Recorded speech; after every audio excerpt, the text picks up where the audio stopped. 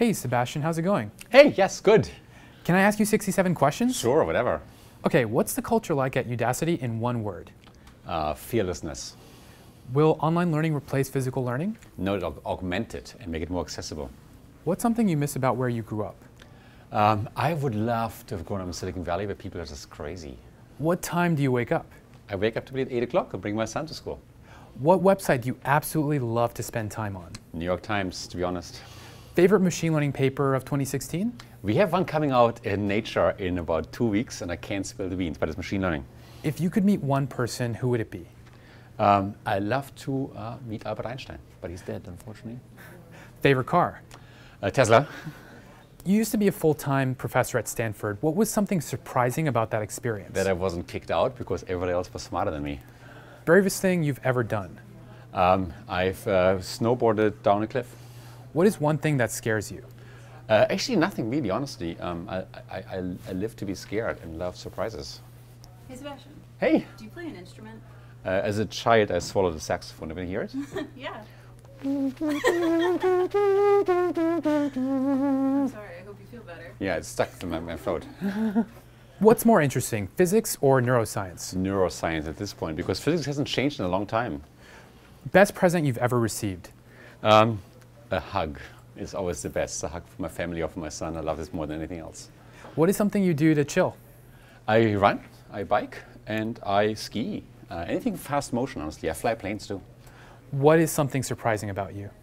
Um, I recently had an MRI of my brain. I found there's a gap up here, around here, about 2.3 centimeters wide. I think that's where normally fear is located because I don't have fear. Do you prefer cats or dogs? Uh, dogs. How did you come up with the idea for Google X? Um, we wanted to do innovative stuff. We wanted to um, do crazy moonshots. Uh, so Larry, Sergey, and I sat together and asked what's the best way to do that. Favorite Google X project? Uh, there's no favorite, but the one I'm best known for is a self-driving car. What project are you currently working on? Uh, my God, Udacity, making uh, education globally accessible and democratize it, and double the world's GDP through education. If you could repeat one experience again, what would it be? Uh, boy, uh, being a startup captain is very humbling, to be honest. And there's many good moments and many bad moments. So I'd love to do it again. Why do you think deep learning has gotten so popular recently? It is amazing. I think we reached the critical scale of data. Like if you look at a, a rat brain, you can't teach a rat super interesting tricks. But if you make the brain a little bit larger than a human brain, you can do it. So I think in computer, we now reach the size of a human brain. What is your favorite operating system? Linux, of course. I spent way too much time hacking Linux kernels in my life. Yo, Sebastian, what's your favorite movie? Matrix. What is your favorite operating system? Uh, it is Linux. Um, but I asked the question already before. Do you Hasn't play- changed. Yes. Do you play any sports? Uh, I run, I ski, I bike, uh, and do anything that's fast. Most adventurous thing you've ever done? Uh, I, f- I snowboarded once and, f- and actually broke my back by, by, by snowboarding over a cliff. So I've done crazy ski jumps before when I was young. What's one source you use to stay up to date in ML? Um, I love uh, browsing the web. I love talking to people. I go to conferences. And um, there's a lot of stuff in the news these days. Programming language of choice for machine learning. Um, for me, it's either Python or MATLAB. Uh, MATLAB because I love fast prototyping and I love NumPy and, and Python. But um, when I go to production code, I go to C++. Favorite professor? Myself? No, ha, just a, what a joke. Uh, my mentor, Tom Mitchell at Carnegie Mellon, who's uh, founder of the machine learning department, is just amazing. Wh- Why do you think programming is fun? It's amazing. I love it. I do it for recreational purposes. I just programmed a Sudoku problem solver just because I was jet lagged. It's fun because it's a great mental exercise. Favorite comfort food? Oh my God. Uh, I actually make my own food. I have a little food invention to make great dinner in three and a half minutes. And I love fish. Name one person you really admire. Um, I would say number one would be Larry Page, the uh, CEO of Alphabet, and I learned so much from him. What was your first program? Uh, I had a uh, pocket calculator called Texas Instrument 57. You should Google it. It looks like 1980s technology. And it had 50 programmable steps. And I spent endless time building video games on a pocket calculator. What text editor, what text editor do you use? Uh, usually Emacs. What open source library do you really like? Um, boy, I do a lot of work on Linux, of course. And I love working on uh, Python and the libraries. Best advice you've ever received? Boy, um, not to take myself too seriously. Life is should be, supposed to be fun.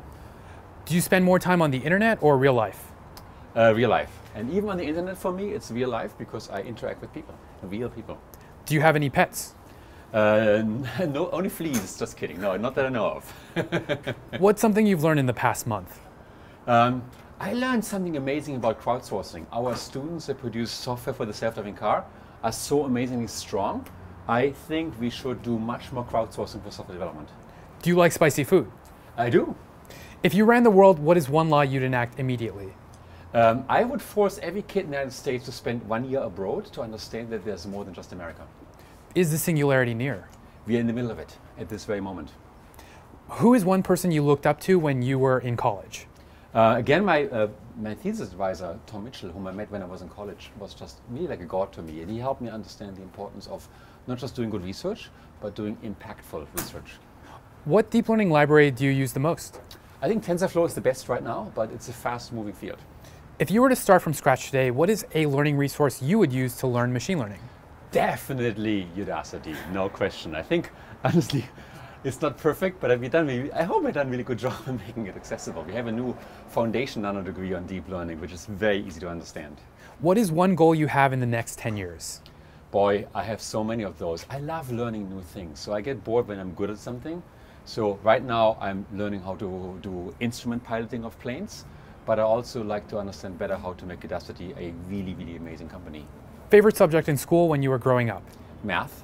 If you could be a superhero, who would it be? Boy, I feel sometimes I feel like Spider-Man on the depressed days, but I, I aspire to be Batman. What's your spirit animal? My spirit animal? Your spirit animal. Um, oh my God, Pokemon. What do you predict comes next after the deep learning hype? I think machine learning will stay at this for, for quite a while, and it's going to be as big a revolution as the agricultural revolution. It's going to come in many shapes. But um, if I were to add one new thing, I think we're going to build machines that can browse all the dictionaries in the world, all the books in the world, and learn from it, and, and combine image-based learning and, and, and data-based learning with book learning. Coffee or tea? A coffee. Summer or winter? Uh, both. Google Home or Amazon Alexa? Definitely Amazon Alexa because it has a name and it you can, can, can call it by name. Chrome or Safari? Chrome. WWDC or Google I/O? Definitely Google I/O. My friends at Google are amazing. Awesome. All right, Sebastian, thanks so much for answering those questions. Total pleasure.